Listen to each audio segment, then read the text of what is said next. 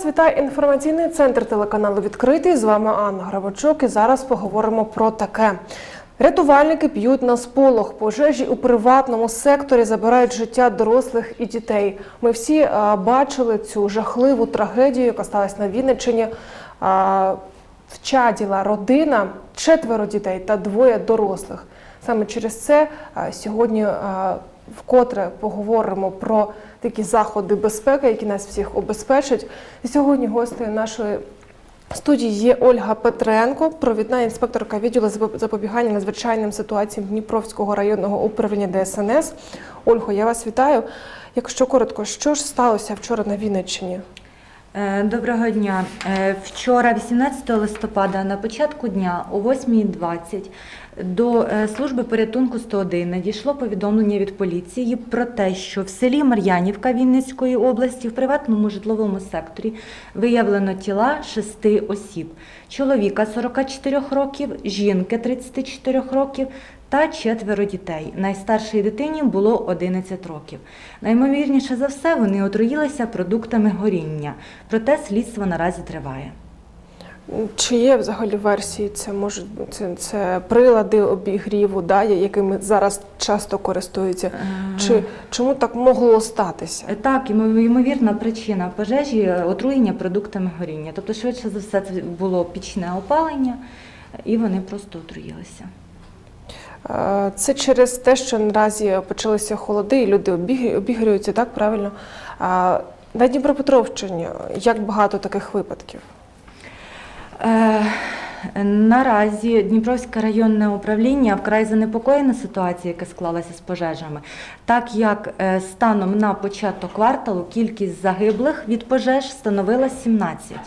На сьогоднішній день це вже 28 осіб на територ... лише на території міста Дніпро. Тобто, з початком опалювального сезону за півтора місяці кількість загиблих збільшилась майже на 40%. Це, Про- це багато, так? Це надзвичайно багато, проте, на щастя, цьогоріч серед загиблих дітей по місту немає. І скажіть, будь ласка, які це були випадки і як себе забезпечити від цього? В плані які випадки? Це то все ж зазвичай прилади обігріву, ел- електрообігрівання. Так, от є у нас і матраси спеціальні, і як їх називають, дуйчики, так? Нехтування правилам безпеки призводить до того, що у житловому секторі пожежі виникають все частіше. Аналіз пожеж показує, що безпосередньо здебільшого винуваті самі мешканці, Е, чи то з необізнаності з правил безпеки, чи то з впевненості, що біда може трапитися абсолютно з ким завгодно, але не з ними самими. Проте вогонь безпощадний він не обирає ні за професією, ні за віком, ні за релігією, ні за соціальним статком. Він може задати шкоди абсолютно кожному. Яскравими випадками, які трапилися за останні декілька тижнів, е, це у приватному будинку для літніх людей на другому поверсі на вулиці Русанівська е, було виявлено тіла п'яти жінок, найстарша з яких була 1932 року народження. Ймовірна причина е, пожежі коротке замкнення, проте слідство ще триває.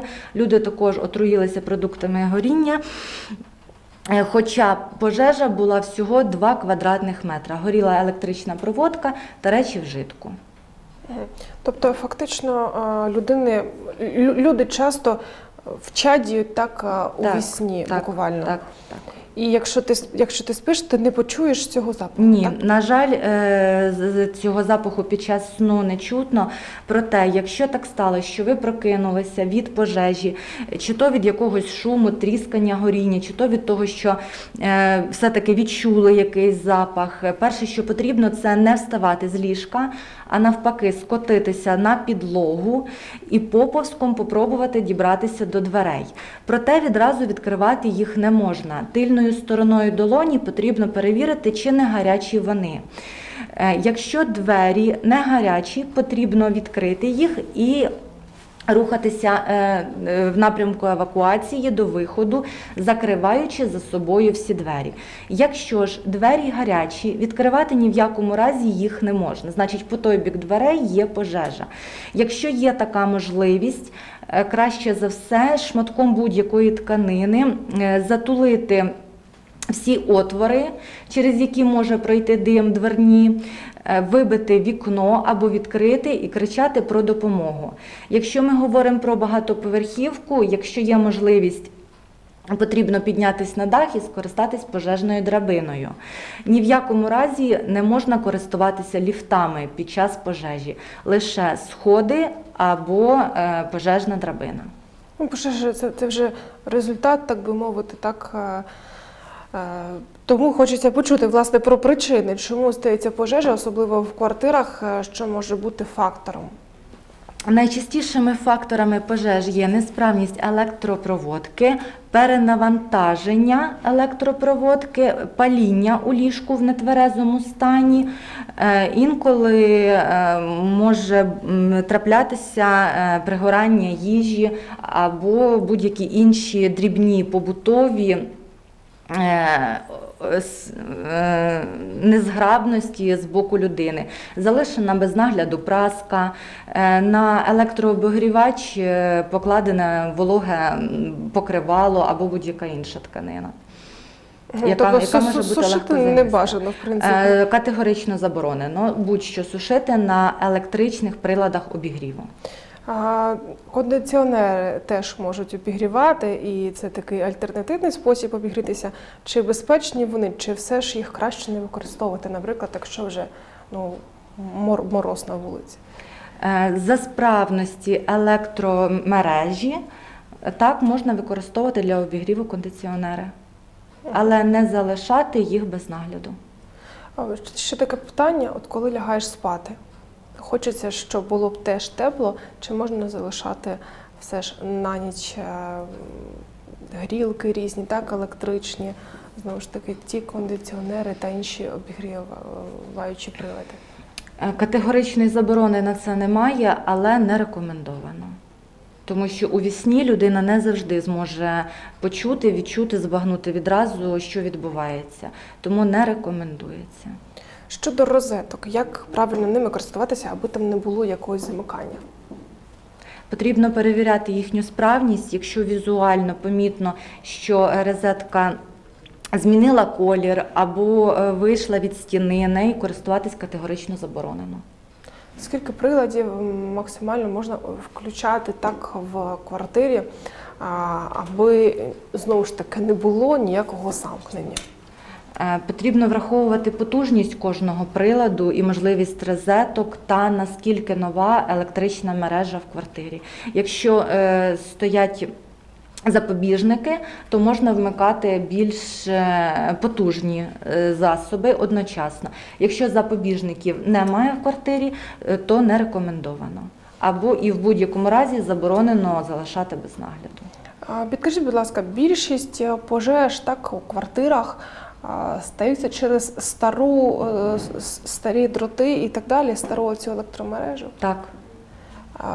Чому так? Її треба тільки ремонтувати або їй давати так, таке слабке якесь навантаження, аби вона не вийшла з ладу?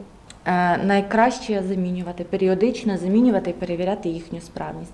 Якщо були помітні якісь е, недоліки, іскри або зміна кольору розетки, це говорить про те, що електрична мережа виходить з ладу і потребує негайної заміни. Що, що, щодо дітей, так?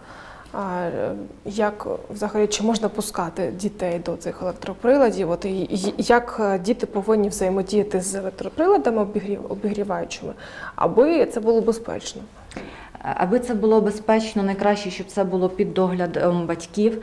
Якщо все ж таки діти залишаються самі, нема можливості, щоб вони перебували з кимось, дуже важливо провести з дітьми бесіди, пояснити, до чого може призвести необережне поводження з розетками, з електроприладами.